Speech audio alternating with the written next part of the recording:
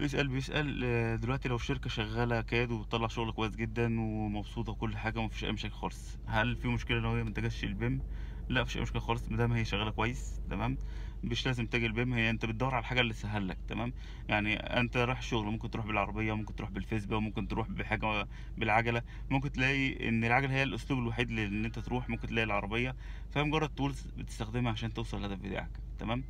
ممكن تكون انت شغال أصلا شركة شغالة BIM وكل الناس فيها فا- فاهمين BIM بس المشروع دوت لو اتعمل بحاجة تانية هيبقى أفضل تمام؟ ممكن تكون شغال ببرنامج معين وتلاقي إن الحاجة دي ممكن لو اتعمل مثلا ب SketchUp هي سهلة وبسيطة فالاسهل إن أنا أعملها بال SketchUp وأخلص منها تمام؟ مش مطلوب آه، شغل BIM فيها. فهي الفكرة كلها إن أنت بتشوف إيه اللي أنت تشتغل بيه بس المهم يحقق إن كل الأطراف شايفة بعض تحللي المشاكل اللي موجودة ما تطلعليش مشاكل جديدة.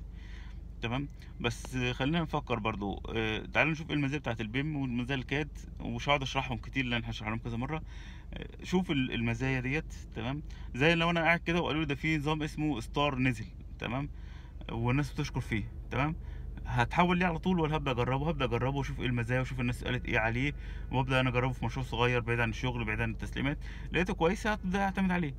فأنت ابدا شوف ال- ال BIM دوت إيه المزايا اللي فيه إيه الحاجات اتحققت هل هو نصب هل هو كذا هل هو إعلان من شركة.